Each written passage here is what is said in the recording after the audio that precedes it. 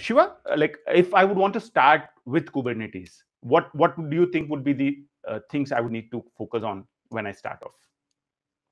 Okay. So typically when you think about learning Kubernetes, there are two aspects of it. Like, are you a developer who is trying to deploy your application on Kubernetes? Are you a, a administrator who wants to set up the cluster and manage the resources now?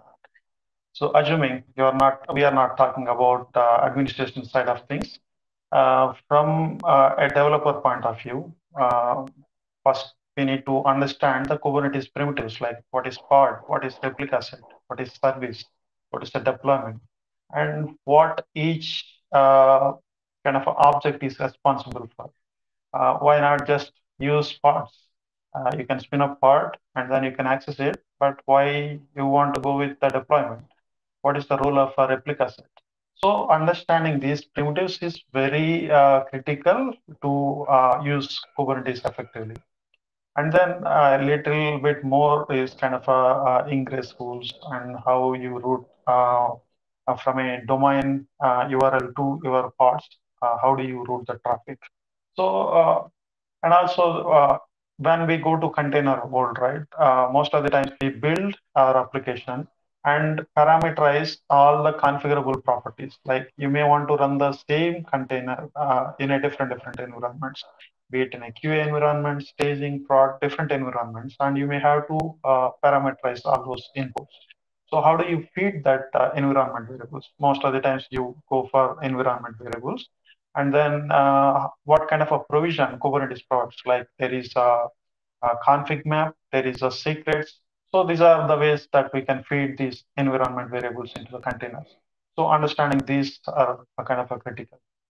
Um, and I would recommend uh, if you are uh, newbie to the Kubernetes world, uh, there are uh, tools that you can spin up locally like uh, Minikube or Kind.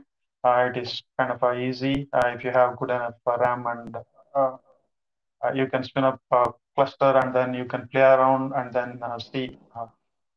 One challenge is kind of writing the manifest files.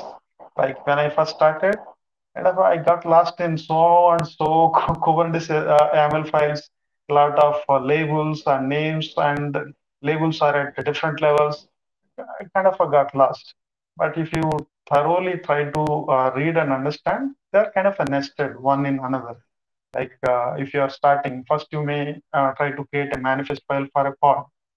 And then you see a lot of uh, same kind of tags. And then when you try to write for a deployment, you see almost same thing, but nested inside another uh, uh, object. So it, initially it kind of a bit of overwhelming, but you kind of try to identify the patterns, it's not that complex. And especially coupled with IDEs with uh, so much of auto completion capabilities, it's fine. You can get uh, habituated to that. Uh, and there are tools which actually generate these manifests. You don't have to manually write them also. But I am kind of a, a skeptic about how uh, good their generated manifests are. But again, you can start generating and then tweak them. You don't have to use them as it is you can tweak them. Uh, this is what I would suggest. Run Minikube or kind, and then I would strongly recommend don't go for uh, generation of a manifest beginning. Uh, learn how to write them properly, and then deploy and then see. Uh, just if in case uh, anybody is interested, uh, recently again I got so much fascinated by Kubernetes, and then I wrote almost five six blog posts. If you are a typical Java Spring Boot guy, uh, person, you can just follow along uh, how to use pods, how to use services, how to use deployments, ingress rules. I, I wrote a series of blog posts. Uh, that's a good starting point. Yeah, I think um, uh, beyond that, there are a lot of uh, administration type of uh, activities like nodes. Sure, let's get to the administration part a little later. Let's first focus I, on the even, developer part. I, I, I am not even familiar with the administration part. yeah, I think getting to an administration part would be a complex thing. Like I know how challenging it is to like to set up a simple to get a simple Kubernetes cluster running in my local machine three four years back was a challenge. Was a really big challenge. it was like uh, you needed to configure so many things, and you needed really powerful machine as well. And uh, yeah, and that's why what I did was actually I started learning Kubernetes in the cloud. So uh, like Kubernetes, uh, like each of the cloud platforms offer Kubernetes service, but the Kubernetes services from AWS and Azure are not free. So they're not part of the free tier. Uh, that's why I chose to go with Google Kubernetes Engine, which was like if you go for a Google free account, it's easy to create and kind of use it.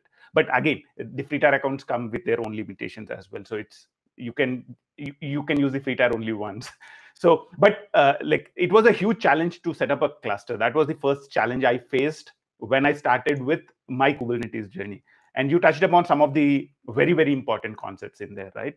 Uh, I think understanding pods, replica set, deployment service, and what is the role each of them play in Kubernetes and the importance of labels, because labels are the things which you write in your deployment manifest. Like attaching the right labels with your uh, Kubernetes objects, like pod, replica set, deployment, and service, and using the right labels in your deployment configuration or the YAML file. A lot of, as you say, like it was a struggle for me as well when I started my journey uh, with understanding the deployment configuration with the YAML especially. But it's like magic, right? Once you understand it, it's it like a lot of times there are things which are really really complex, but once you understand them, it becomes a magic. Like you can do so many things using that. That uh, one example is like the release strategies, right? By making the deployment configuration, the YAML so complex, you can kind of do variety of releasing release strategies just by playing with the YAML and things like that. That kind of flexibility is what I think, uh, what I love from uh, Kubernetes. Uh, Koushik, do you yeah, want to the labels part is, Sorry. Please go ahead, Siva. So I just want to say this labels thing is very interesting. Uh, like uh, typically when we see anything attach a label, that's kind of a not so important. It's like nice to have. Maybe uh, let's say it's a dev environment or what. That's how we feel. But in the Kubernetes world, labels play a very, very crucial role. You, as you said, we get to know how many things we can do. Like uh, you can just tag and then um, I kind of, I think uh, blue-green deployments and all, many things heavily rely upon these labels. So exactly. yeah, if you are learning Kubernetes, get a good hang on uh, what labels are, how to use them. Absolutely. I actually had a question for you, Ranga. So you so you talked about uh, the cloud services for Kubernetes with uh, AWS, Azure, and Google Cloud. Uh, is it true that the Google Kubernetes engine is a little closer to the the core Kubernetes implementation as opposed to uh, AWS and Azure? Like, are they wrappers, or can you still use the same Kubernetes configuration for uh, for all the three? Like, you make it cloud agnostic. Yeah, it's 99%. I would say it's the same. Uh, it's like the same yeah. Kubernetes. Once uh, you are adhering to everything related to Kubernetes, the deployment configurations, how you create the cluster, everything would be the same everywhere. There would be obviously like a little bit of changes that are customized to that specific cloud. But if you just look at the container orchestration part of it, all 3 mm-hmm. services are essentially the same. Uh, the only difference comes in is the amount of experience Google has with Kubernetes right? Aws was little late to the game. They did not want to take kubernetes at all initially right? So they, i mean obviously it's a technology coming from google cloud and i don't know i'm a competitor so i'm a little reluctant at the start until it really became popular. Azure and like aws were a little reluctant. So the amount of experience google cloud has in managing reliable clusters uh, kubernetes clusters shows in GKE, right? I never had a problem with the GKE cluster at all in like my four or five years of experience playing with it.